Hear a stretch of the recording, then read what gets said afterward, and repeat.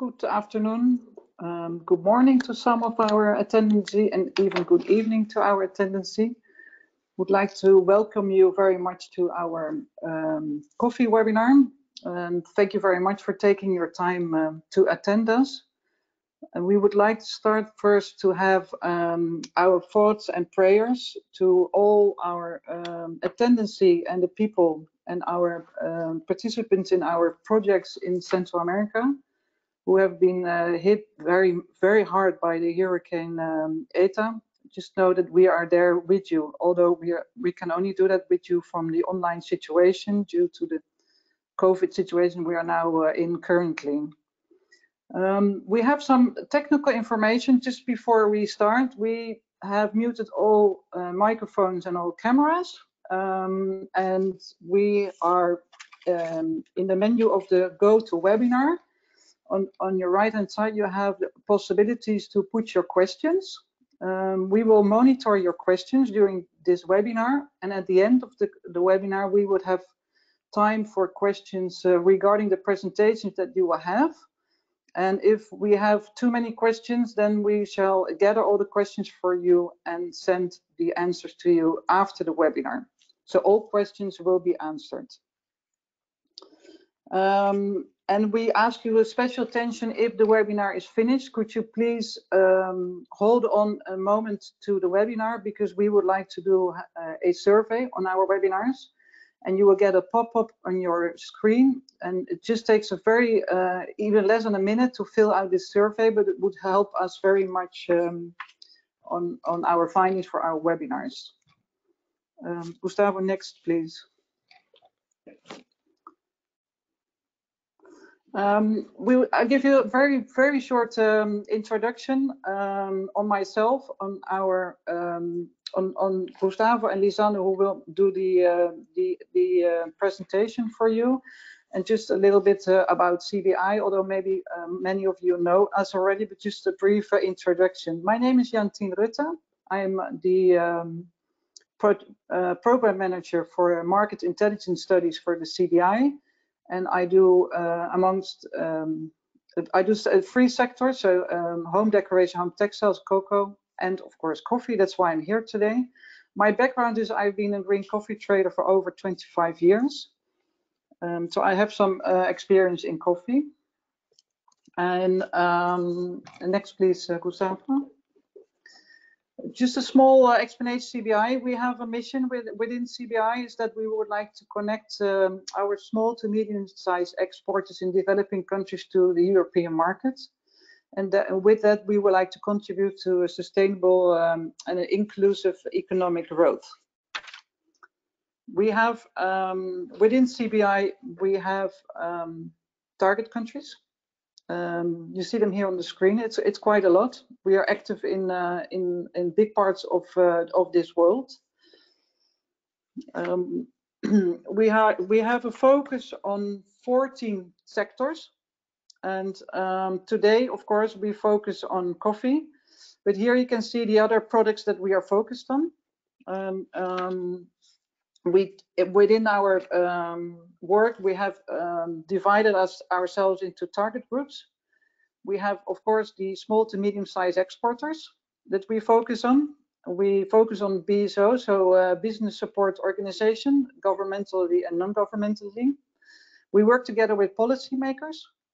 And of course we work with the um, importers based on the european uh, market and the and the uk market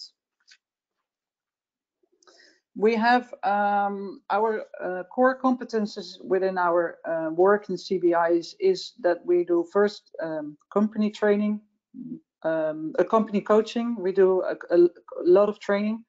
We help um, the small to medium sized experts in, in their enabling uh, environment uh, support and we facilitate um, European Union market entry information. And of course, that's why we're here today in this webinar is that we have a lot of European um, Europe, European uh, market um, entry information on the market intelligence. And um, that is why we are here together for this uh, webinar. So our studies on market um, intelligence provide a different kind of information, which is divided into the market analyze part. So what is the demand, for example, in Europe and what are the trends and what kind of opportunities can you take out of this? And we have the studies that are based on the market entry. That is like finding buyers, how to export, um, how to do business, and um, what are your market um, uh, buyer requirements. And besides these two uh, modules, we make country fact sheets on uh, on the on the coffee sector. For example, uh, on on Germany or in Russia or on, on UK uh, or or France. And we can um, provide tailored made fact sheets on certain coffee subjects, so like organic or sustainability. Um, we have all our information on our website. Here is how you enter to the cbi.eu and then to uh, market information where you can find our sectors. You can click on it and um, then you can, for example, go to the coffee part. You click on, on coffee and there you can find our different kind of um, studies we make. You can find all your information there. You can look it up you can uh, read it online, you can download it, you can forward it, you can save it, and all this information is for free. Um, so it's it's good to read. It's it's it's very helpful. Um, I think this is more. It's enough about us. Uh, it's time for our presentation. Um, our presentation today will be to learn more about how to map our markets, find buyers to optimize your opportunities. This part will be uh, hosted by um, Gustavo Ferro, who will in introduce himself um, more about his background. And then the second part is um, what are um, the online tools we could uh, you could use um, to optimize your opportunities. And this will be hosted uh, by Lisanne, who will also um, tell more about herself during her presentation. So enjoy very much. And Gustavo, I give you the online floor. Thank you so much. Uh, I guess everyone can hear me and see me.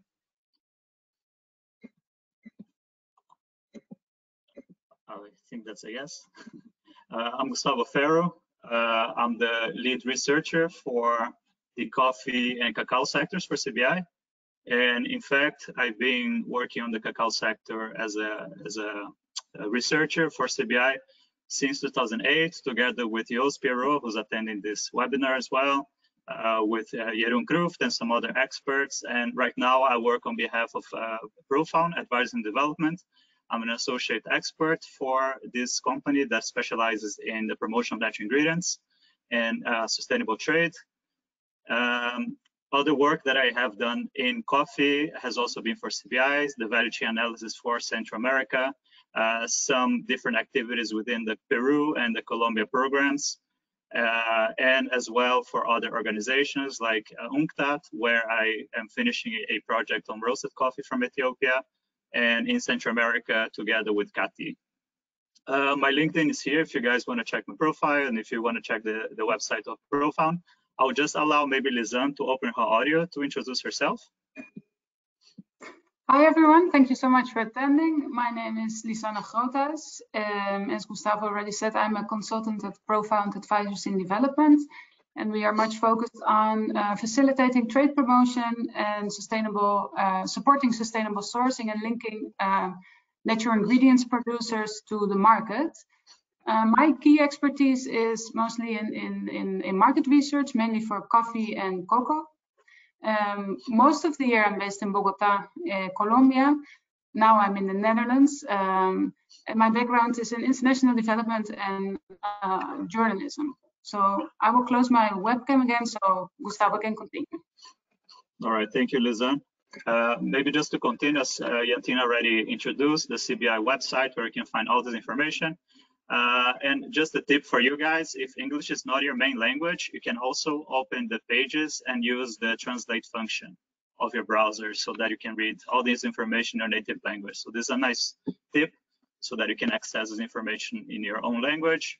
Uh, and of course, we always try to write in a way that is also very uh, instructive and trying to write in a simple way so that it's actually uh, accessible information and very and useful information as well for you guys. Uh, so today we'll discuss a few issues. I want to start just by uh, maybe testing the water a little bit as to how COVID is, is affecting us all in the coffee market and what we can expect for the future in terms of these online tools and uh, linking that a little bit with finding buyers. And then I'll just speak a little bit about uh, how to prepare the ground, how to prepare yourself to actually use the tools to find buyers.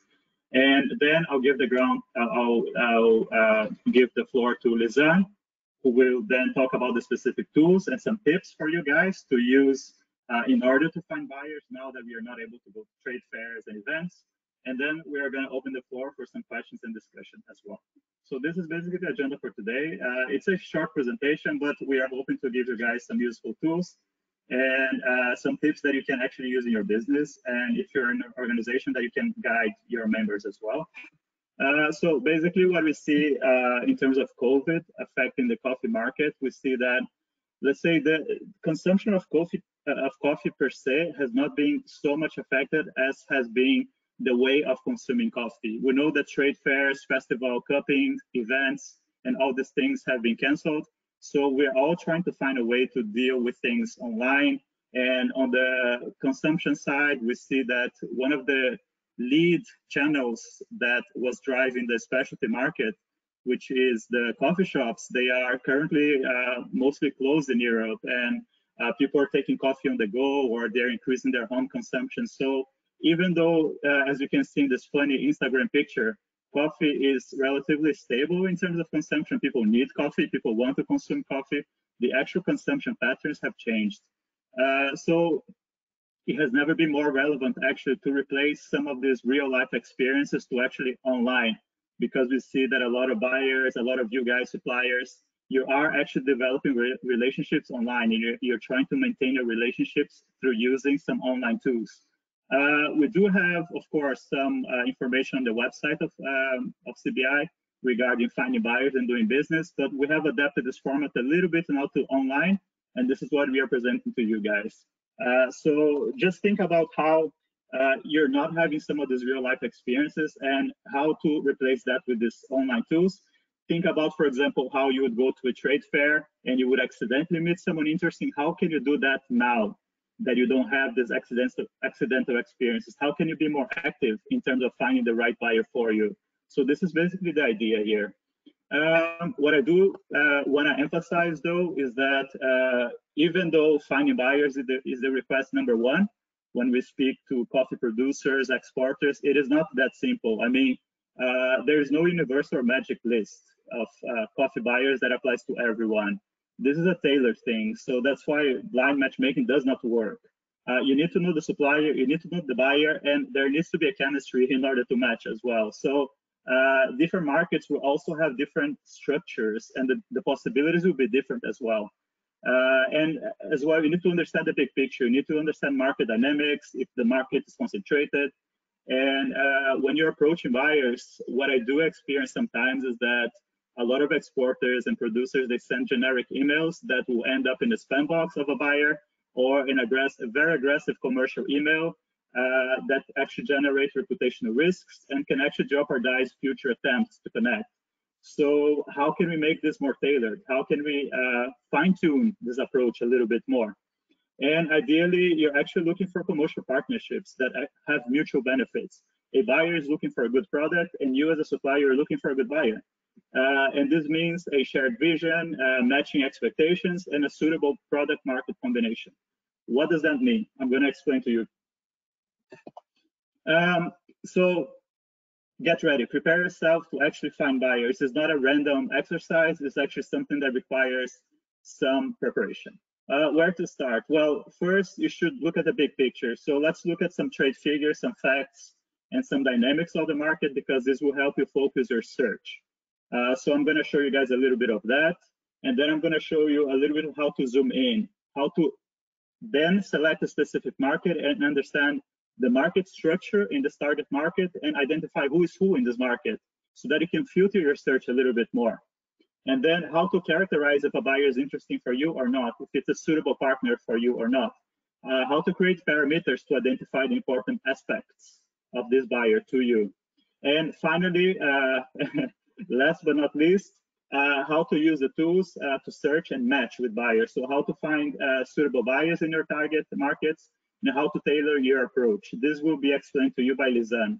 So that you guys need to stick around because the most interesting part of the presentation maybe is going to be presented by Lisanne, which is actually the most important uh, tools that you guys can use for that. Well, just to start, uh, when we're looking at uh, the European market in terms of the coffee consumption, you see a mixed kind of picture because you're talking about the large markets. Uh, you see here in the in the orange stars that the large markets are also the ones that have a large population. So you see Germany, France, Italy as being the lead markets for coffee in terms of volume because they do have a big consumption for a big population. And then you see Poland, Spain, Netherlands. Uh, and then you look at the per capita consumption of coffee, and then it shows a little bit uh, of a different picture because you see countries like uh, the Nordic countries like Finland, Norway, Iceland, Denmark, and then Netherlands, Sweden again, having a very high average yearly consumption of coffee. So that's showing a little bit of a mixed uh, picture as to which markets could be interesting for you. Uh, you have so many options here. You have options of niche markets, you have options of big markets. How do you start looking at market entry? And when you look at market entry, what is important here is for you to understand how the coffee enters the European market. What is your entry point and what is this first buyer to you? So understanding the import figures will be very important here. Um, in Europe, so 86% uh, more or less of European imports of coffee uh, they are sourced directly from producing countries, and the other 14% they are sourced via other European hubs. Uh, the main destinations for uh, European imports are Germany, Italy, Belgium, Spain, but it doesn't mean that necessarily the most important countries for you. Uh, it just means that the coffee is mostly entering those markets as a first point. Uh, let, us do an exercise where we actually uh, look at specific target markets and we ask ourselves the following questions. Are those countries uh, importing directly or indirectly from producing countries?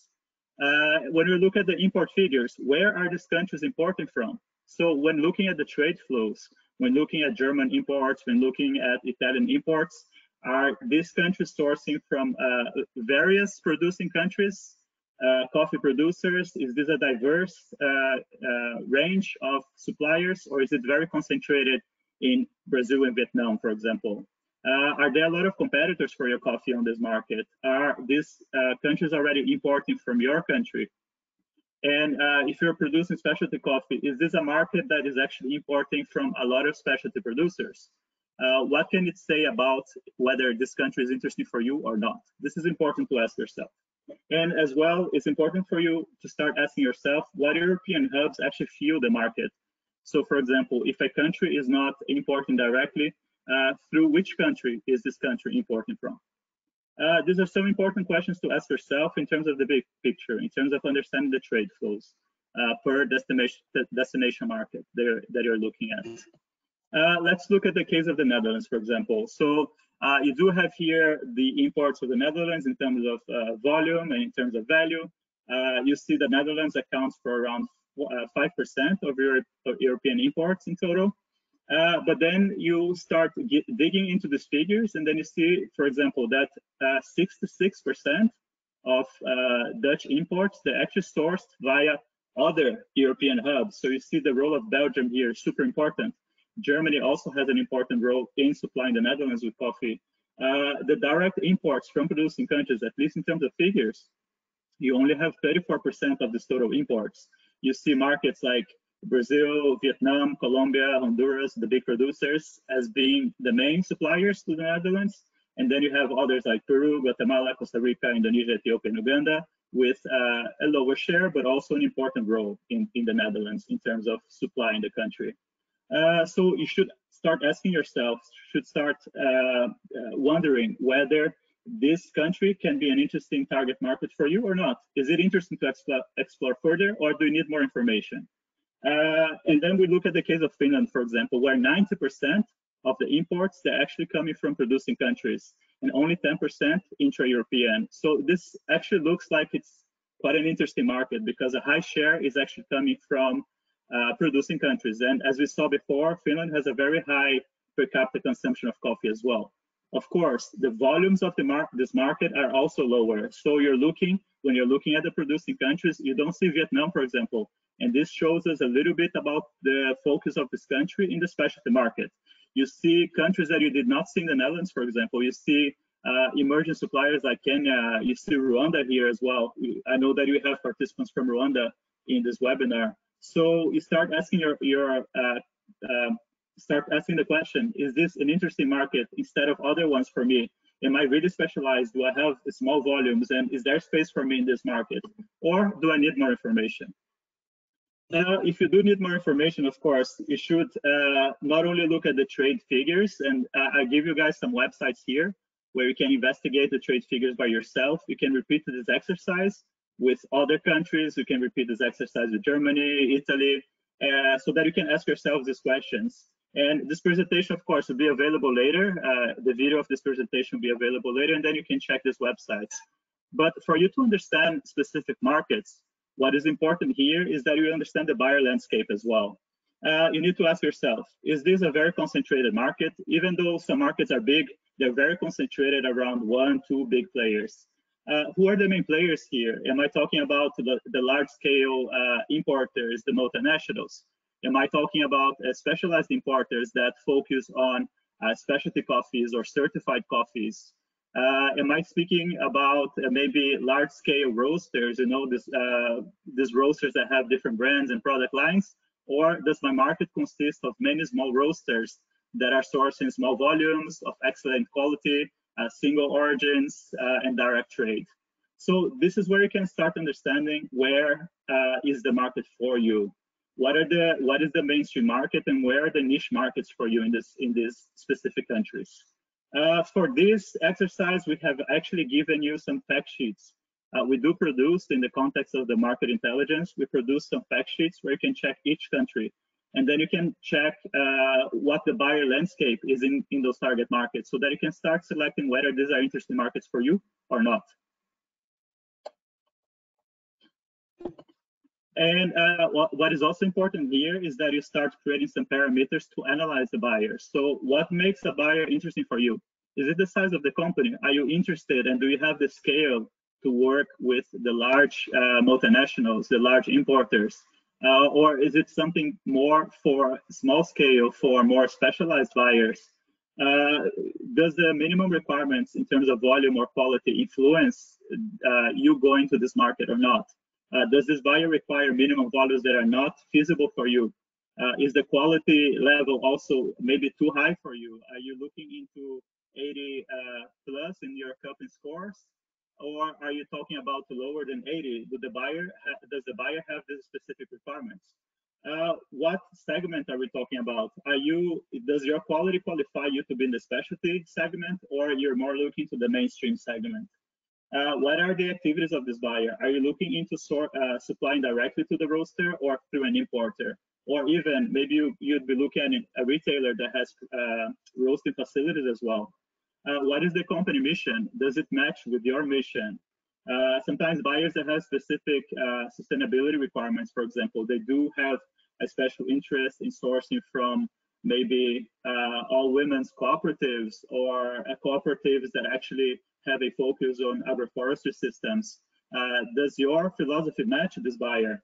And also, sometimes buyers have a geographical focus. For example, maybe they're buyers uh, maybe roasters and importers that specialize in Africa or specialize in Latin America. Uh, this you should understand and sh you should do this exercise when you're creating your parameters as well. And also, who's their end client? Who is going to be consuming this coffee? This you also should check when you're checking whether a buyer is suitable for you or not. So in short, you should start thinking about it and start creating your own parameters to analyze the buyers that uh, Lisanne will try to explain to you uh, she will present to you guys some tools that you can use to do this exercise. So I will hand this over the presentation over to Lisanne. And um, if you guys have any questions about it or any clarification, clarification questions, just write on the chat and we'll try to answer these questions at the end of the presentation. Thank you very much. Great, Gustavo, thank you. Um, so as Gustavo just explained, um, I will, um, in more detail, have a look at where and how to look for buyers. And as Gustavo emphasized or said, I would emphasize again that it's very important to realize that there is no universal list of buyers, nor is there an ideal buyer. But by exploring interesting markets, uh, identifying an interesting buyer profile for your product offer, for the thing, the product, the coffee you have to offer, um, your search for potential, potential interesting buyers um, can become uh, a lot more effective and efficient. So I will use, um, or I will explain how you can use uh, the websites of sector and trade associations, as well as websites of uh, coffee festivals and fairs and uh, certification bodies uh, and, and, databases as a tool uh, or as a source to find buyers. So next slide, please. Uh, so to start uh, with the sector and trade associations, uh, as you know, there are many uh, associations in the uh, in the coffee sector, both in producing countries as well as in consuming countries. Um, and to know whether an association is is or could be a potential source for for for buyers for you, it's quite important to check the objectives, define the objectives of that particular association as well as their geographical scope. Um, and in addition, also uh, to define their position in the value chain. For instance, you have associations. Um, let's say you're an exporter of, of um, high quality specialty green coffee.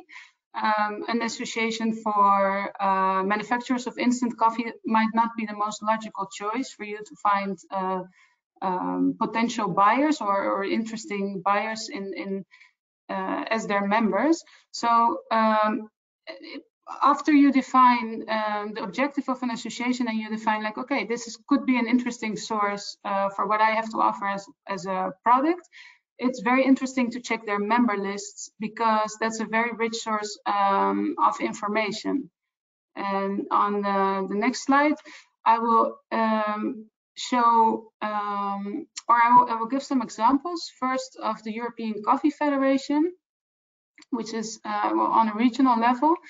Then I will dive a bit more into detail on a national uh, level, the coffee associations. I will just I just took two examples, one of the UK, of the United Kingdom, and one uh, of Spain. Um, and after that, I will also have a look at how the Specialty Coffee Association website uh, can be of any use uh, for you and what kind of information you can find on their website. So these websites could be very good sources to find uh, potential buyers in different European countries. Um, and I will start uh, on the next slide with uh, the European Coffee Federation. So as I said, uh, first of all, it's it's interesting and important to define their um, to define their mission because that shows or it gives away a bit of what type of companies or members you can find on their website. So when I read the mission here, you can see mo most of the associations on their own website, they will give, they'll have a section, an about us section where they share their vision or their mission. And uh, here I copy pasted uh, of their website. And if you read it, uh, I will read it out loud. Their mission, it says, the mission is to represent the common interests of European green coffee trades, coffee roasting industry, soluble coffee manufacturers, and decaffeinators. So when I read their mission, what do I see or what do I notice? First of all, uh, as the name already says, it gives away the geographical scope that it sources um, that it serves the interests of the European coffee sector, and then also uh, it serves the common interests of the whole sector, uh, traders as well as manufacturers as roasters. So that gives a, an indication that it's most likely that you will find the larger players in the European coffee sector as members uh, of that federation. So on the next slide, I um, I uh, made a print screen of if you on their website, this is all available online on their website. You can go to their member list. And it's quite interesting because they, they have two uh, separate uh, well options you can choose. On the one hand, you can look into the association members, which is uh, ranked by country. So you can see in Europe, all kind like all the national coffee associations that are there are, are, mentioned on the European Coffee Federation website. And by clicking on uh, on the country you have identified as interesting, you you you get some information. You can you are redirected to their website, or uh, you get some contact details. So that's a very rich uh, source um, to start your search. And uh, they also give some information on, um, or they show the company members that are uh, part of the European Coffee Federation. And there you can see, uh, as you already read in the mission, that it includes both uh, coffee traders as well as manufacturers and, uh, and roasters. So um, it's important to to check those those companies to see like what they're actually involved in and um, and if they could be uh, useful for you. And I think on, in the next website, it's uh, sorry, in the next slide, it's best to give an example uh, um, of a national coffee association. And here I picked uh, from the United Kingdom, the British Coffee Association, and you can see um, in their mission again that it serves the interests or what does it, uh, it says the representative organization for the coffee industry and the voice of UK coffee, meaning that most actors that are involved in the coffee sector in the United Kingdom are part or like are mentioned on the member list um, as, as you can see on their website. And by clicking uh, on the membership uh, list, you can find uh, different uh, categories of both smaller uh, as well as larger players. And um, if you click on that, you can see I made a print screen here. They, they give the names of the companies as well as the like an icon. And if you click on that, you actually get uh, already some, some first information, such as a company biography, um, contact details and as well as their website of, of a specific uh, company. And here, as Gustavo explained, it's it's quite important to to check if such a company actually matches your philosophy or like what you uh, can offer as a coffee exporter or, or producer. So um, if you check a website of a company, it's it's important to understand their business, their philosophy, and also their requirements. So on their website, you will find a lot of information and you should ask yourself some questions around like, do they buy uh, mainstream coffee or are they more specialized in a niche product such as specialty coffee, maybe organic coffee or fair trade coffee? Um, uh, or do they have other specific requirements on bean quality, cupping scores, uh, packaging, transportation? Most of these, these uh, questions you will find answered by uh, searching uh, the company websites. So on the next slide, um, uh, I, I, took as an example the Spanish Coffee Association here as well. Um, again, like most national coffee association will have a very clear and easy uh, list where they show all their members. And um, on, this, on the Spanish Coffee Association, it's quite interesting that they give the option to filter according to like type of coffee whether you're interested in players that deal with green coffee or maybe uh, coffee uh, roasters or instant coffee manufacturers. So that helps you like define or refine your search a bit. Um, and again, like by clicking on the website uh, of a company, uh, you can check, uh, for instance, for a roasted coffee company, some roasters do source directly from origin, whereas others uh, buy their coffee uh, through importers. Uh, so it's these are questions that are quite important to to to have a look at, and these uh, national coffee association websites are very useful sources to to find buyers uh, or to find players that are active in that specific market. And on yeah on any on any of these websites, it could be called like slightly different, but usually um, if you go to their members or it says something about um, uh, who we work with or something like that, and you will find an entire list of um, of potential interesting companies uh, for you. Um, and then on the next slide, so we've talked about what the uh, regional coffee association, the European Coffee Federation um, can give as well as the National Coffee Association. But if you're mainly interested in or if you deal with uh, specialty coffee, the Specialty Coffee Association is also a very rich source of information.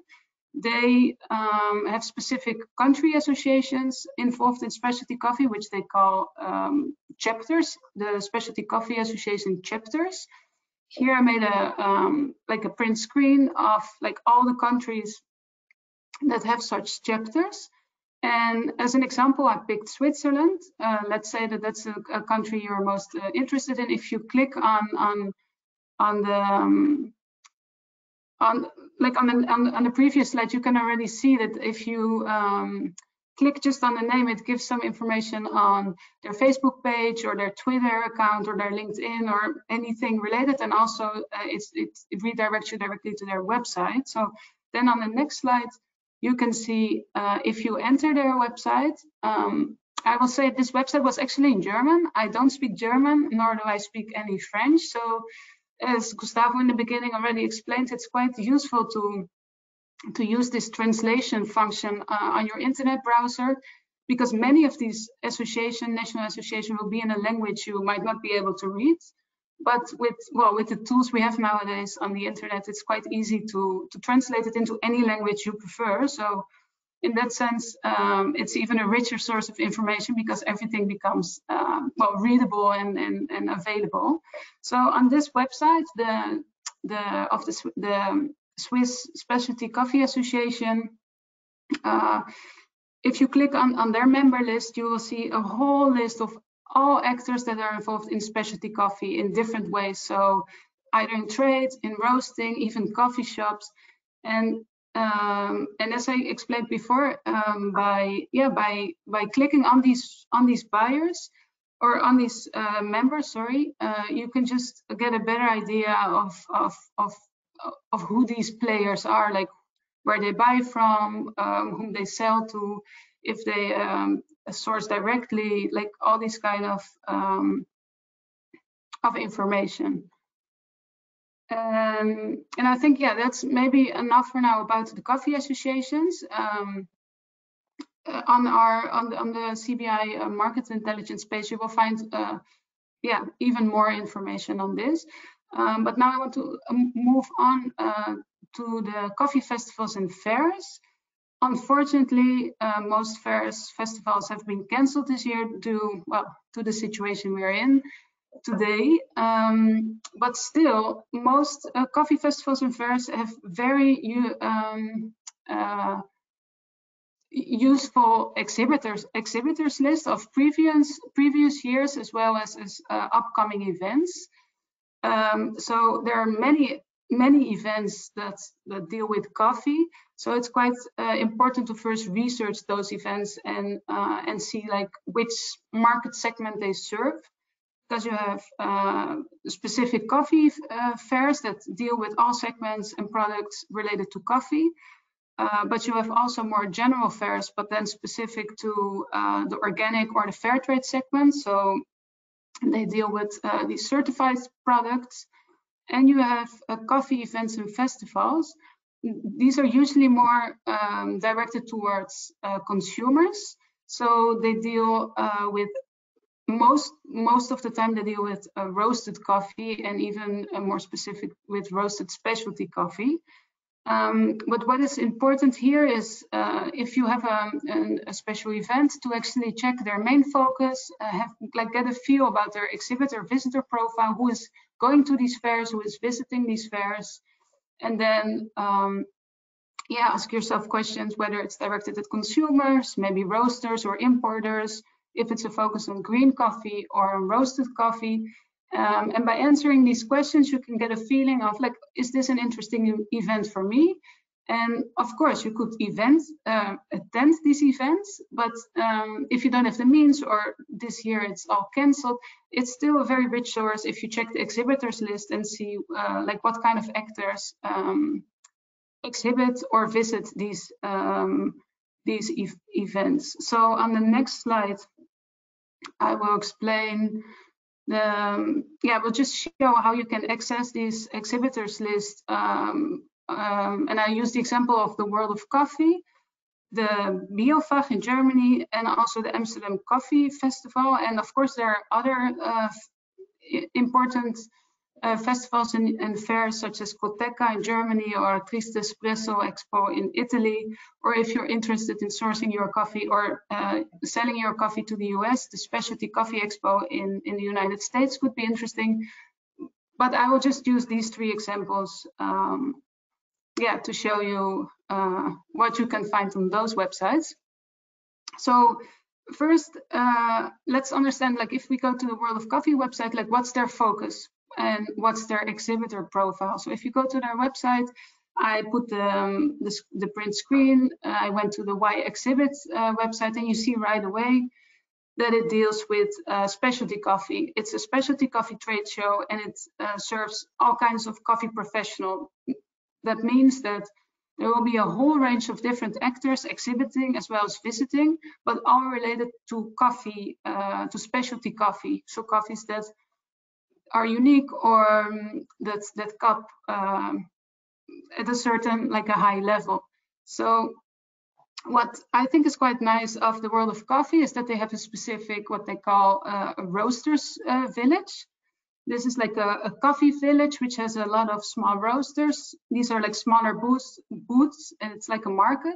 So if you have very unique high, um, high, let's say 90, 90 uh, uh coffee that cups 90 plus uh, it could be, and you want to sell directly to, to smaller roasters, it could be interesting to check this. Um, uh, well, I put it like with an orange circle, like to, to check the the companies that exhibit or the roasters that exhibit uh, in this roasters village. Um, and on, on the left uh, of this of this uh, print screen, uh, you can see a whole list of, of companies. These are all companies that exhibit at the fair. And by clicking on, on the name, again, you will find, you will get like extra information such as the website or even uh, maybe at some uh, companies that will have um, a contact uh, detail or contact details.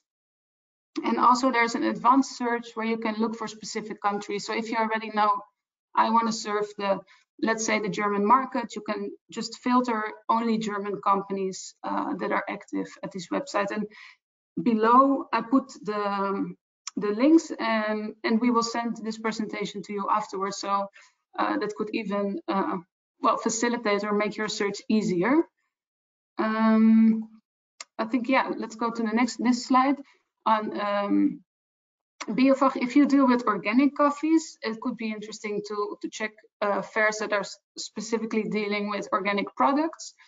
And in this case, Biofach, the largest organic trade fair in the world. Unfortunately, uh, also this fair was cancelled, or the physical fair was cancelled. It's a completely digital edition this year. Um, but yeah, because of this decision, they took uh, out the um, the exhibitors list. So that's why I'm using an example here that is actually from earlier this year from uh, from Coco. But uh, where where where I typed Coco, you can actually type coffee, and you will see that you get a whole uh, um, a whole list of results. And usually uh, when you deal with these bigger fairs and also yeah, who serve more a type of products, it becomes more important to actually use the filter options to to define, I'm sorry, to refine your search. Uh, yeah, to, so to get a better um, better research to uh, results to to help you search uh, for for interesting buyers. Mm, I think yeah, let's go to the next slide. Uh, so these are the coffee festivals. There are many co coffee festivals. Here I picked the Amsterdam Coffee Festival.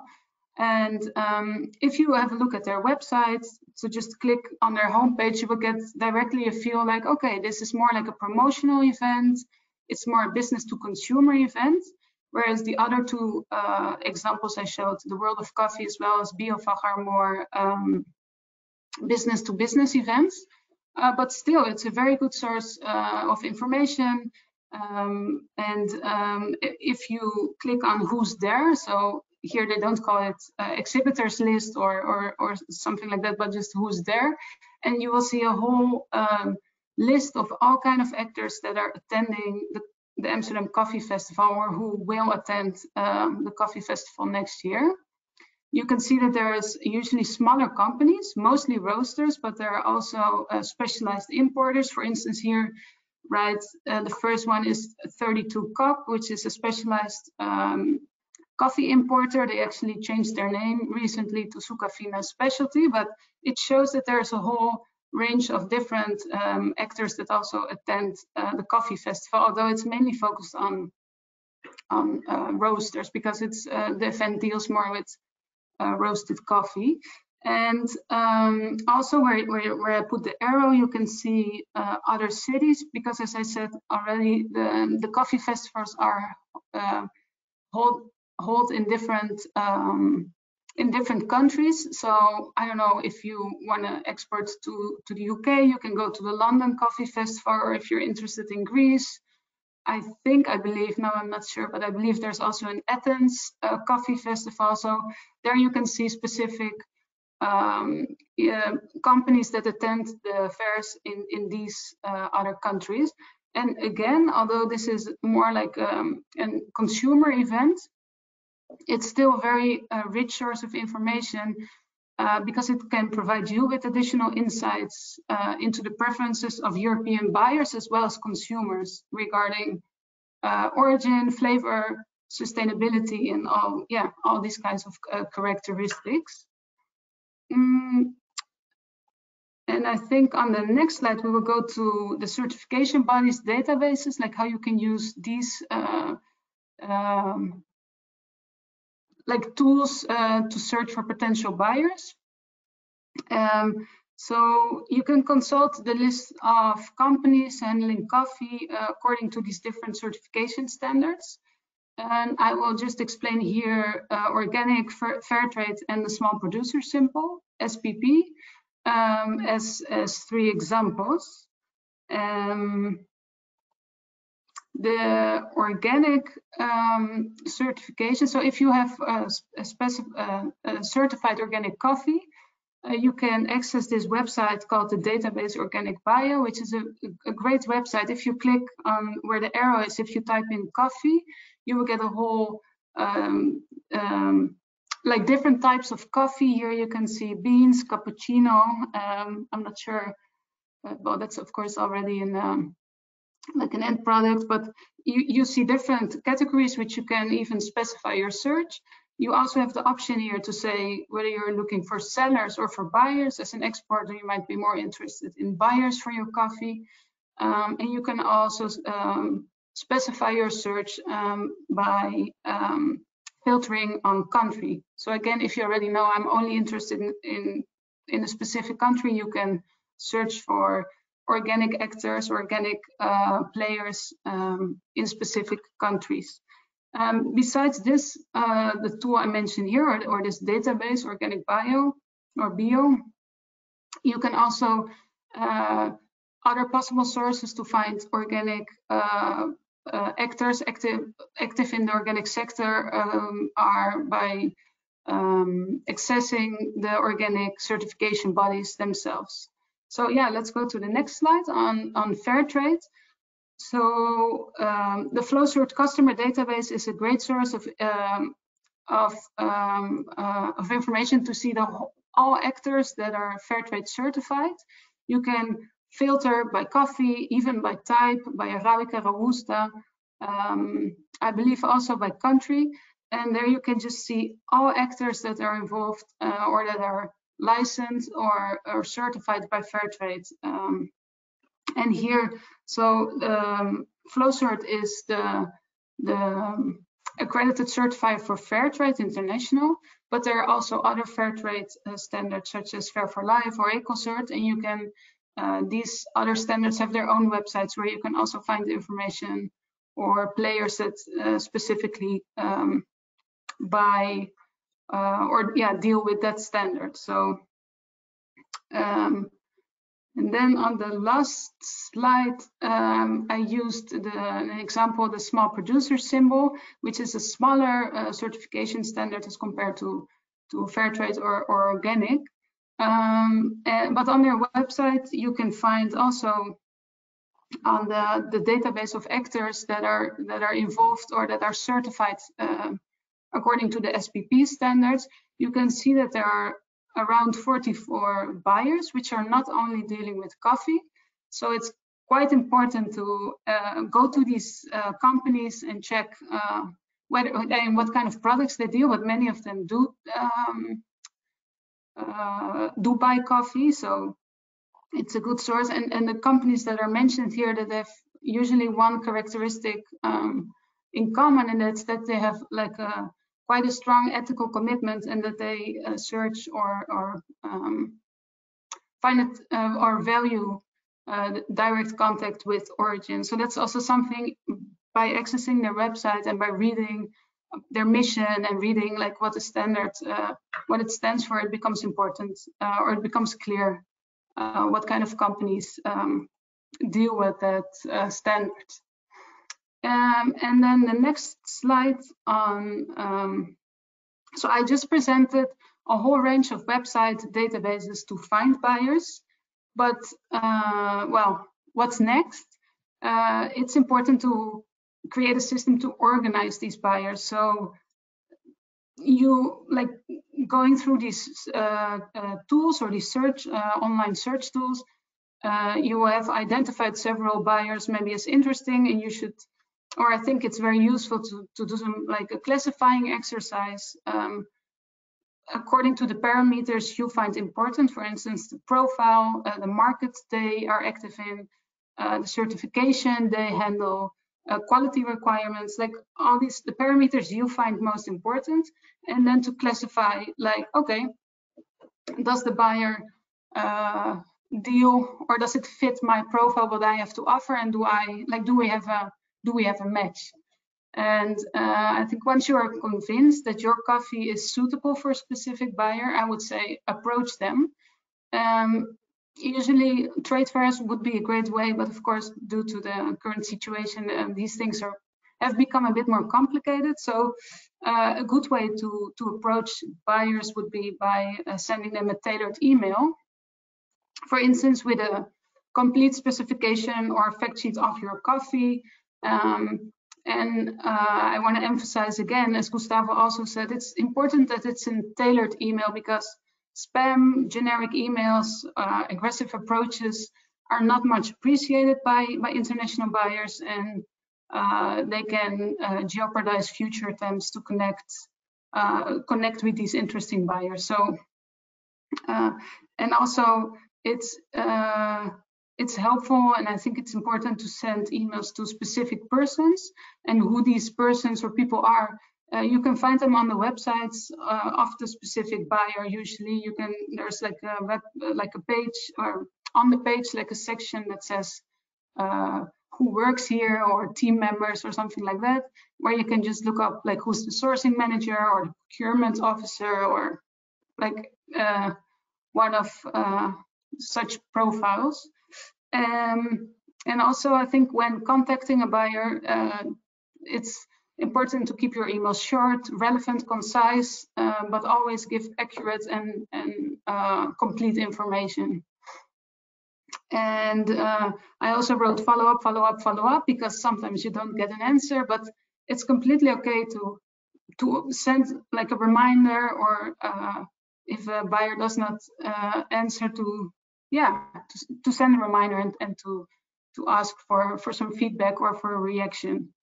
And um, I think, yeah, I think that's uh, what uh, my last what I wanted to say. And um, I also put the link there again uh, because on the doing business module on the CBI website, we gave a lot more tips on how to uh, how to actually do business. Like if you want to approach a buyer, like what are good uh, good ways or what what we would think would be a, a good way to approach um, buyers.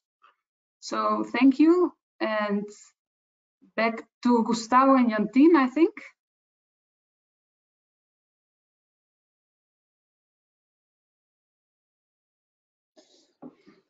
Yes, um, thank you very much, um, and Gustavo.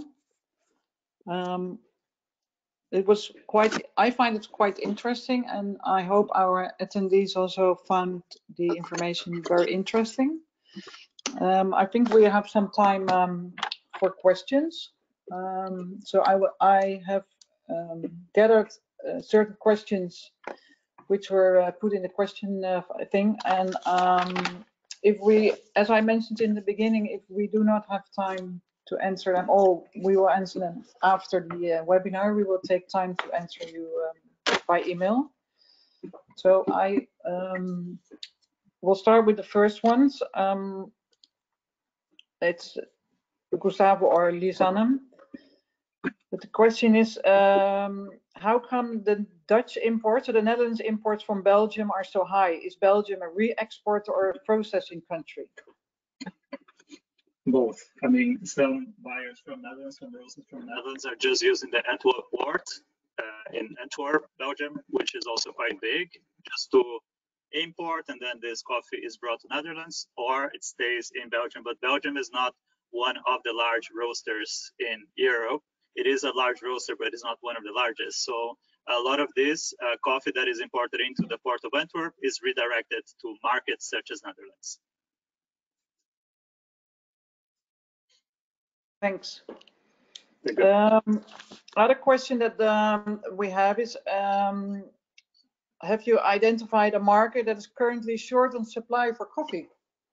Ah, that's I the gold found that quite interesting uh, question because I think it's also uh, out of well, it's out of two interests, but I also think it's m- might be interesting with the situation we are now at the moment in with the COVID that there's yeah uh, we might have a, a different supply demand. Um, some countries are in full lockdown or or or partially in lockdown.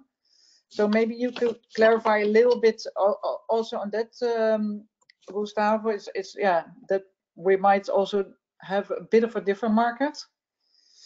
Or do we really see a certain market that is really short on supply or or maybe the other way around is very long on supply?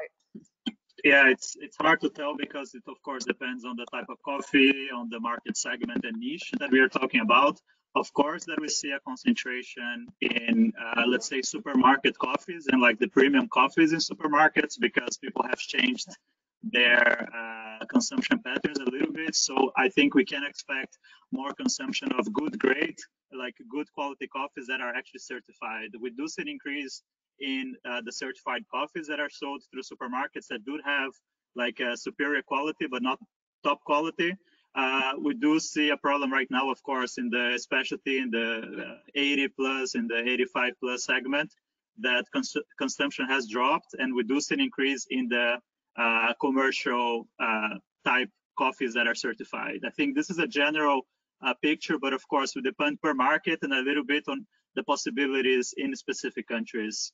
Uh, but this is the general picture. Thanks. If Um, Lisanne yeah. wants to comment, I don't know if she has anything to add. Another question that we uh, receive is um, how does the retail market of coffee works in Europe? So how can they approach supermarkets? Um, it's not an easy um, uh, market, I think, but um, the question is what are the possibilities for them and how to approach them? Maybe we can explain a little bit on the different channels. Um, I, I think when you're talking about supermarket, then you're talking about various different channels because it could be that a supermarket like the Albert Heijn here in the Netherlands has a its own roaster, but it doesn't mean that it sources all its origins directly. It could be that Albert Heijn through its roaster is either importing directly or through an importer. It depends a lot per origin. Uh, sometimes when a roaster has uh, good presence and agents at origin, they do it directly but sometimes they do not. So they do it through an importer that brings it and nationalizes this coffee. So they have a hybrid system. So it's difficult to tell this is the way. So you have to look per supermarket if they have an integrated roaster and how this roaster sources, or it could be that a roaster also does the private label roasting for the supermarket. So then you would have to approach this roaster that does private label. Uh, it could be that this roaster that does private label sources directly from origin depending on the origins or does it through an importer as well.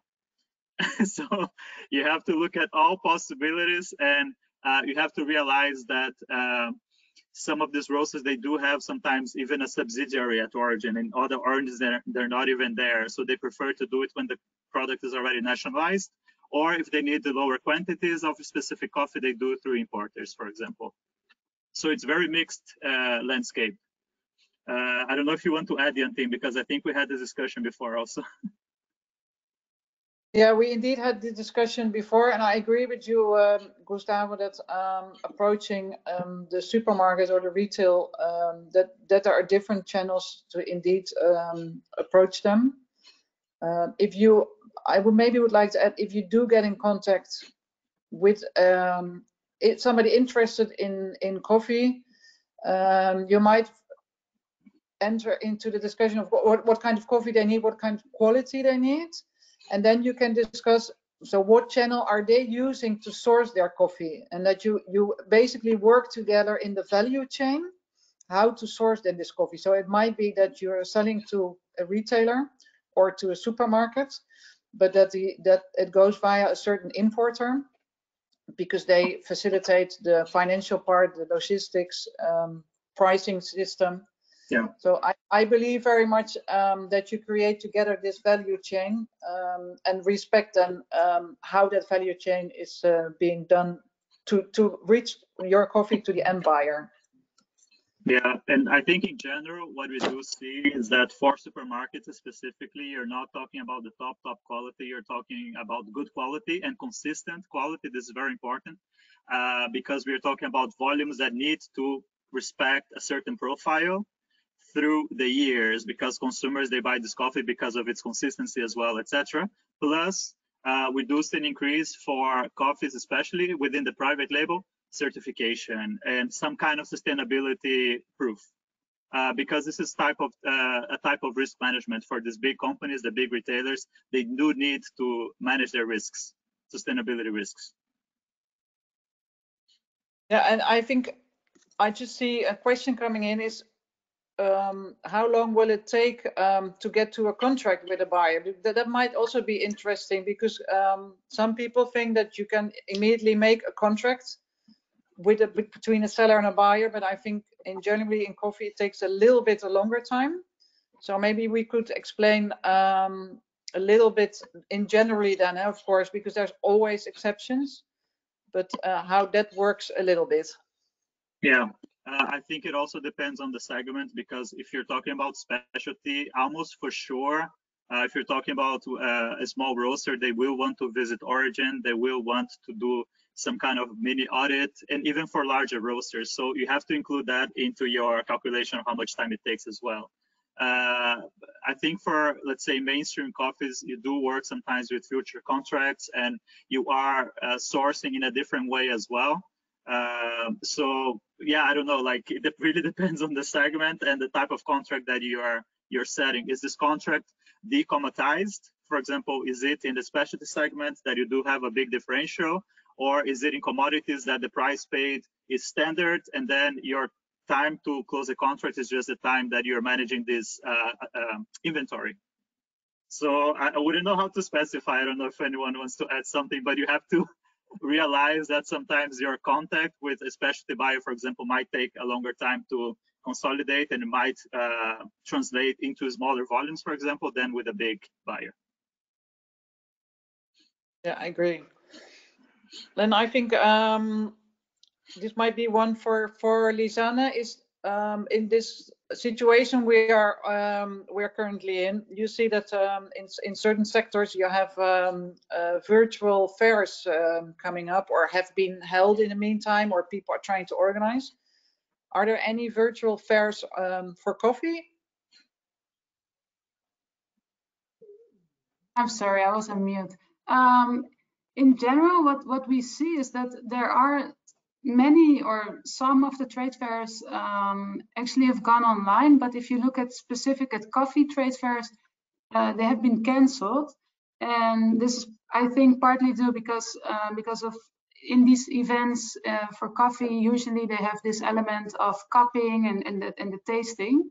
So um, it's it's like World of Coffee and like most of the coffee events are actually postponed to next year. So specific to coffee, maybe Gustavo knows, but I think they have all been postponed to next year. Um, and for instance, a BioFach, which is on organic products in general, but they uh, they they have a digital fair, but this is not specific on coffee. So yeah.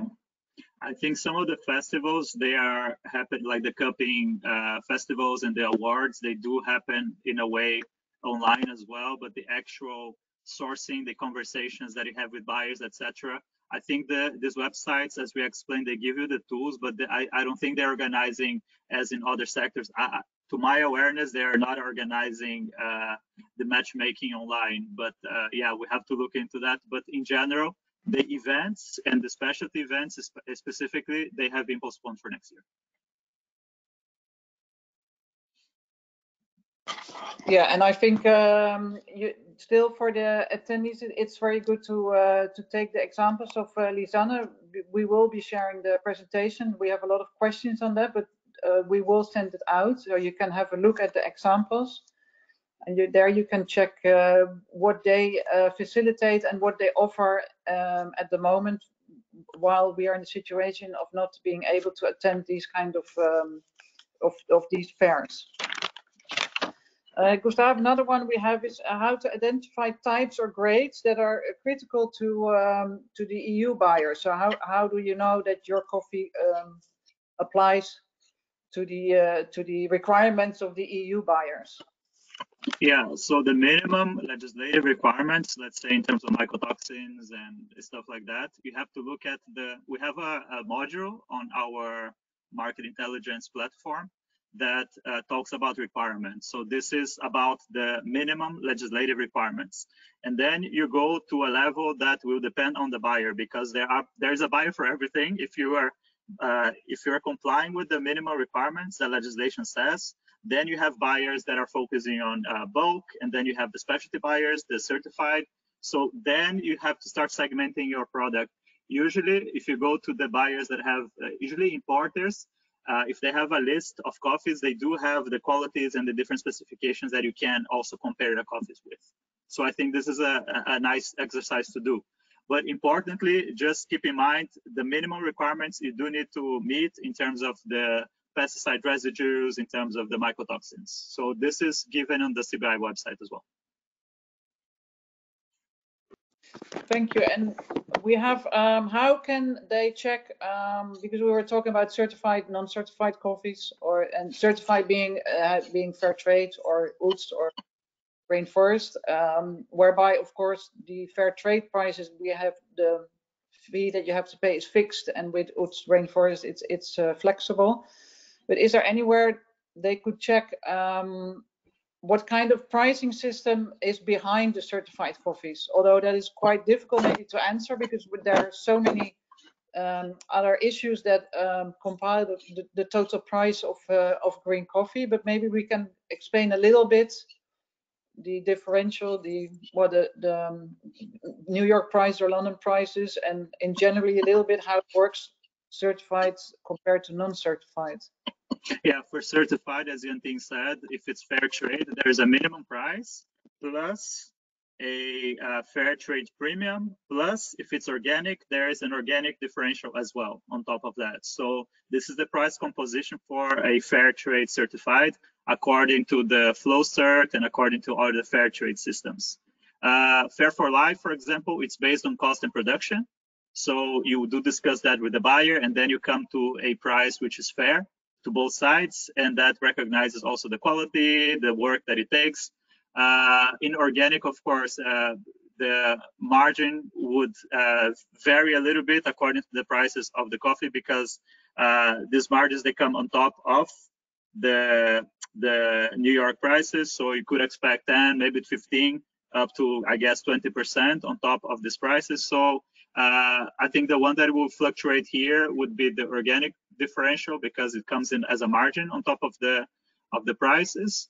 Uh, what are the certifications? Uh, yeah, these are the main ones. The UTZ, uh, which is now Rainforest Alliance, does not guarantee a uh, minimum price or a margin necessarily because they do work more with productivity, with good agricultural practices, etc. And the question was also, so can they check somewhere or verify somewhere these mm. prices on, on, on a yeah. kind of website or do do they need to um, check all the, the websites from traders who are offering these market these these coffees and so or would there be a centralized website where they can find these kind of or at least the explanation uh, on the, the, explanation itself, we do give an indication already on the certified co uh, coffee uh, fact sheet we have, and we have a new organic uh, fact sheet as well on the CBI website, where you can kind of check a little bit on what is in these dynamics and uh, the kinds of buyers and the kind of prices you can expect.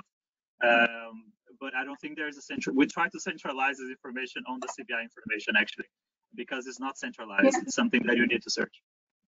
I think um, there is a, I'm just, at the meantime, I'm looking it because I forgot the name, but I think it's called the Transparent Coffee Guide.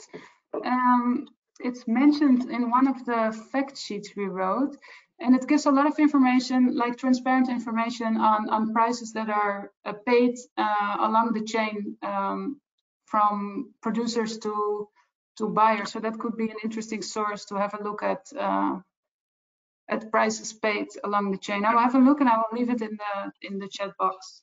But I think there's a difference between, let's say, if you're talking about differential based on quality and the differentials or the premium that it's they are paid for the certifications, uh, because Absolutely, the yeah. certification, yeah. Uh, I mean, the certification is a third-party audited certification that gives a premium on top of the prices in order to value that coffee in relation to the impact regarding social, environmental impact. The differential on quality is a different story. I mean, that's the price composition based on quality purely, not on certification necessarily. Yeah, exactly. It's good you you clarify because it Yeah. two different things. Yeah. Thank you. Um, so I, I think I, we should repeat a little bit that if you go to our website, you find quite some information and, and I think even more, uh, a lot of links that can help you to have to understand better um, the, and, and- get there they give explanations on, on how and, and you can find how you can uh, apply that to your, to your uh, product or your company. Another interesting question actually is, uh, especially uh, based on the situation we are now, is that um, how do we see the out-of-home uh, consumption? Is it has it drastically diminished, or has it moved to online coffee buying? Or uh, so how do we see that market for now and maybe a little bit uh, towards the future? Um, I don't know if Lisanne wants to pick this one up and I com complement or Sorry, go go go ahead. Go ahead. Yeah, okay. So I think, as I said, I think coffee consumption is quite stable in general when you look at the big picture, and then you start seeing, of course, the auto consumption has dropped uh, because uh, part of consuming coffee out of home is actually to sit in a cafe and to work from there, etc. I think uh, these have been partially replaced by more supermarket purchases and by ordering the coffees to be consumed at home from these coffee shops, but this is just partial. I think, uh, let's say, there are, there are a lot of articles about this, so we're trying to centralize the information. But from a personal perspective, I think as soon as we have a vaccine, as soon as we are able to go to coffee shops again, I think out of home consumption is the trend. It is something that is a long-term uh, prospect, and I think we will continue. And this is, of course, there's a dip at the moment because it's just not possible to go to a um, a coffee shop you you do see more possibilities to consume uh, higher quality coffees buying from supermarkets or buying directly from these coffee shops through deliveries. And a lot of these coffee shops have created websites portals so that you can order this coffee online as well or that you're walking the street and then they give you this coffee. But of course the general consumption out of home consumption has dropped also through offices and things like that that are not working at the moment. But again, I do see a long-term uh, trend for out of home. I think this is a temporary situation, and I think it will pick up as soon as we have a solution for this problem at the moment. Uh, I want you guys to also comment and maybe to give your opinions because here I'm talking also from a personal observation and perspective. No, I agree uh, with you, Gustavo, that um, that this is because of the uh, of the current um, situation that we are in, because uh, the out-of-home uh, coffee consumption uh, was growing, uh, especially in certain European countries. Um, it's becoming more and more popular, increasing of of qualities. Um, what we name specialty coffees, which is still a little bit of a gray area because it hadn't had it's still not defined what is exactly specialty coffee. But at least you see in the higher segment that, that there is a growth and people really do want to know where their coffee is coming from. They want to know the story behind it. So I, I, uh, I agree with you that um, as soon as we get into a more normal situation, um, for how whatever that time takes to get to that situation, I agree with you that that, that will normalize um, again. Yeah, Um, I, I do not think, uh, just orienting, I, I don't think that uh, compared to other markets, the ordering a coffee online, etc., will pick up as much as we have seen maybe in the specialty chocolate, for example, or in other sectors that you do have open up this channel now. I think for coffee, it's such a strong thing to go to a coffee shop and consume it there because uh, specialty coffee is also about the experience.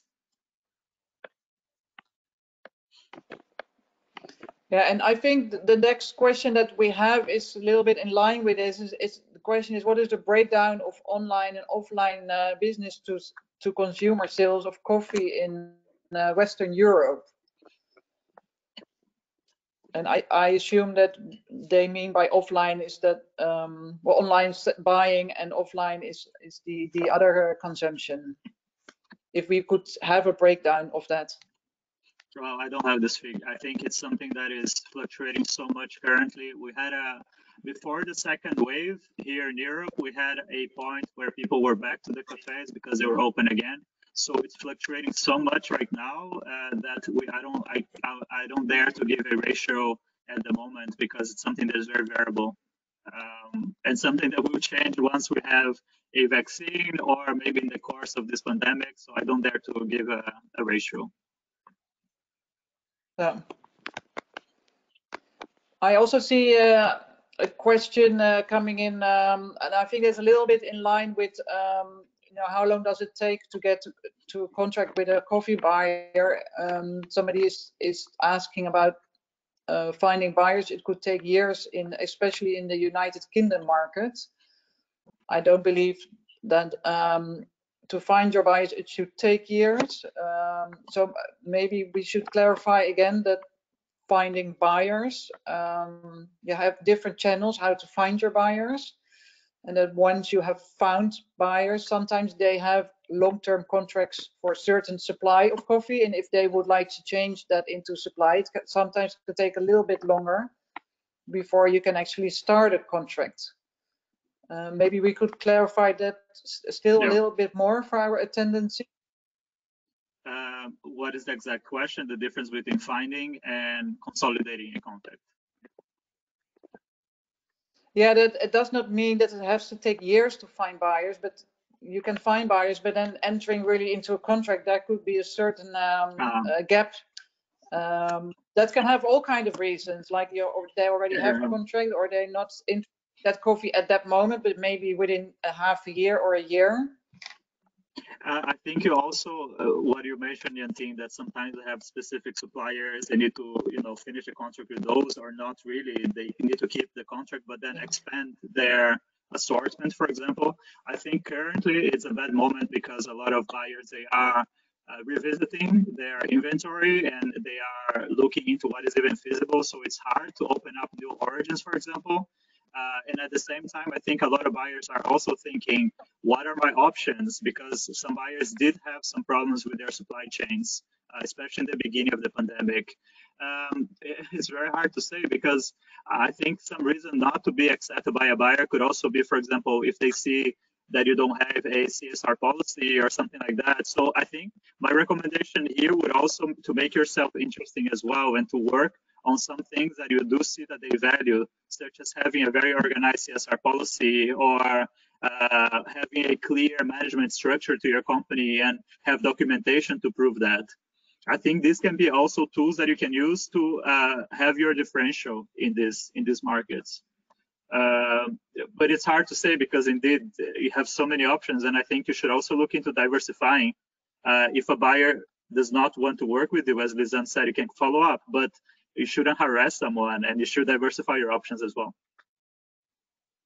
Yeah, and maybe also very check very much your uh, corporate social responsibility within your company, which is becoming uh, more and more important. It was Yeah. already important, but it's becoming more important, and it will become even more important within the coming years. because I think that's on top of of uh, every agenda that um, Yeah. we should have corporate social responsibility, um, well, increasing basically within your company.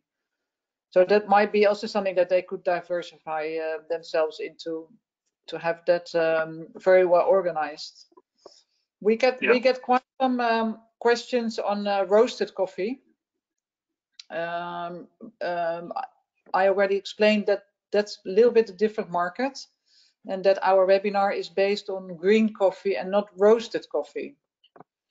Um, so for certain questions on roasted coffee, I already diverted them to the European web, European Union website. So like, for example, labeling issues, uh, Yeah. uh, requirements, uh, or let's say the legal requirements. Um, Yeah. I know it's not, it's, it's, it's different um, uh, subject, but as the, the questions are keep coming in, um, Yeah. is there something that we can divert them to on websites where they can find their information?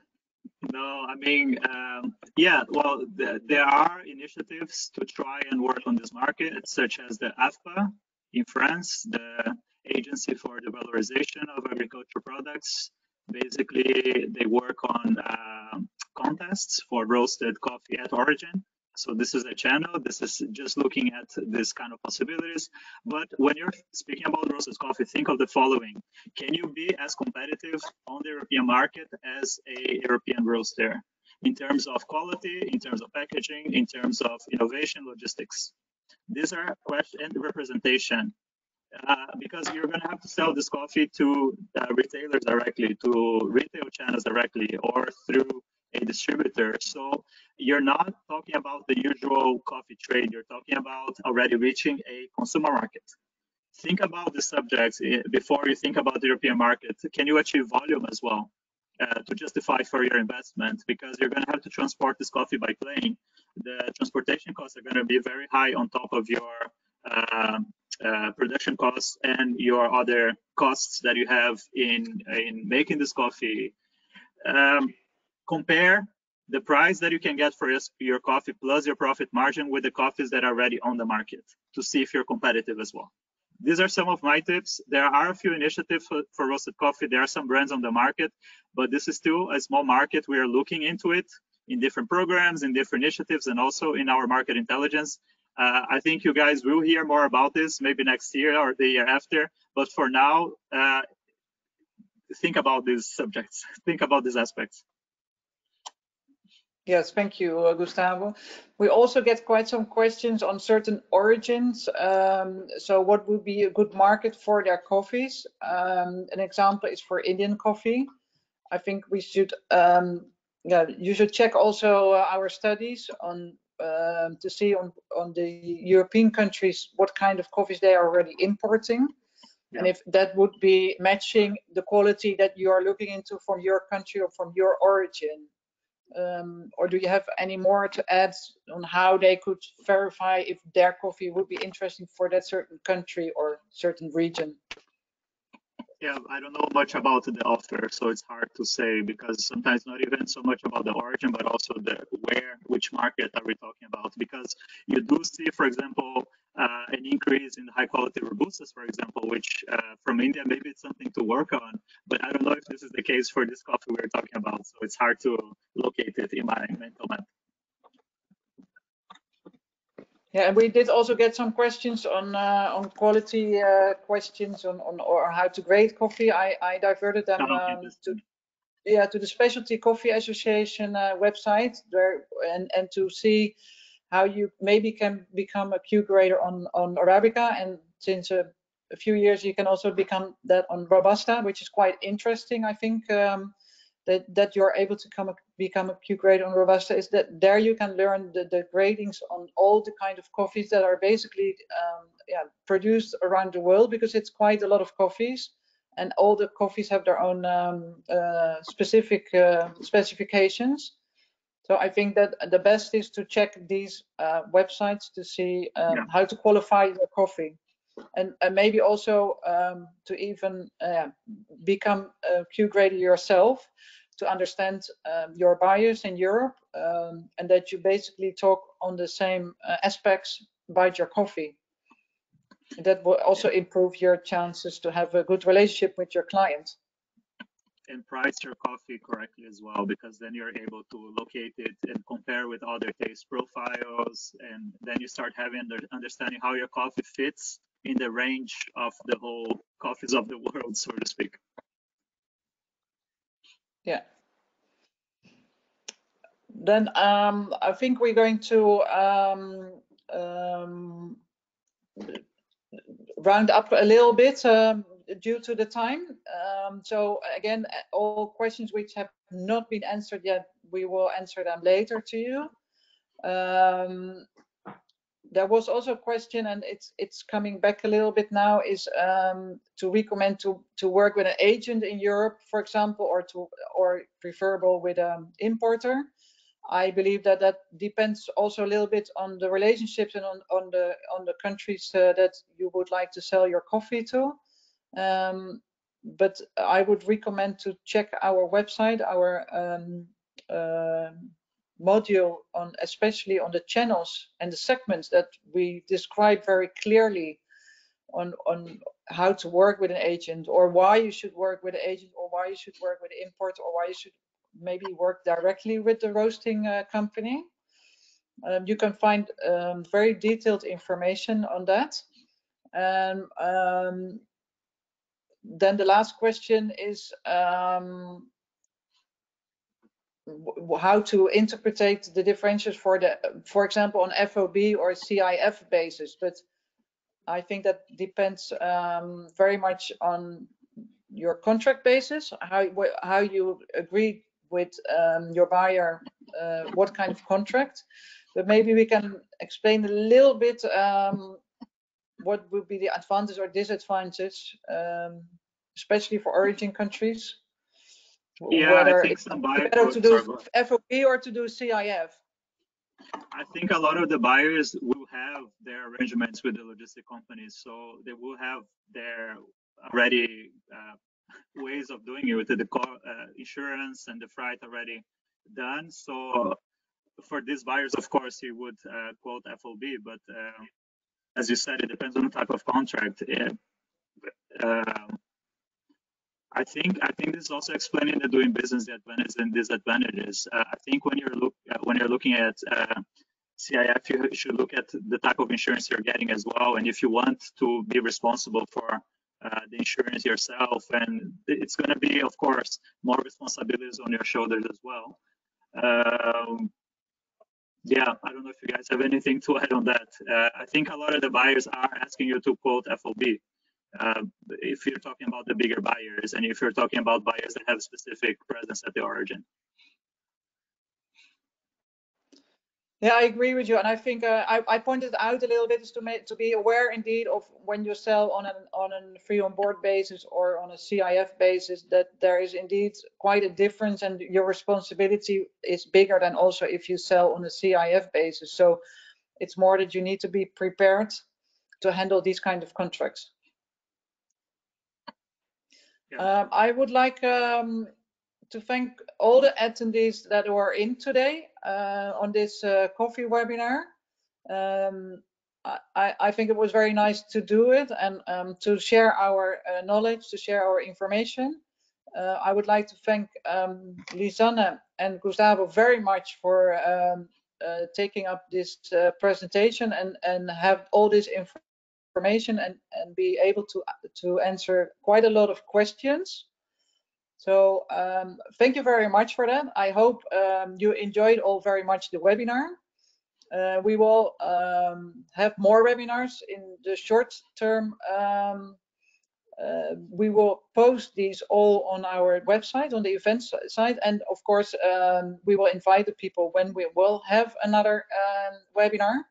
So uh, keep an eye on that again, thank you very much. And well, for the people who are already in the night, have a nice evening. Are in the morning, have a nice day. And in the afternoon, um, have a nice afternoon. And we hope to welcome you uh, soon. Um, please, um, at the end of the webinar, please fill in the survey for us because it will be of great help to organize the next webinar even better. So enjoy the day and thank you very much. Thank you. Thank you, everyone. Bye bye.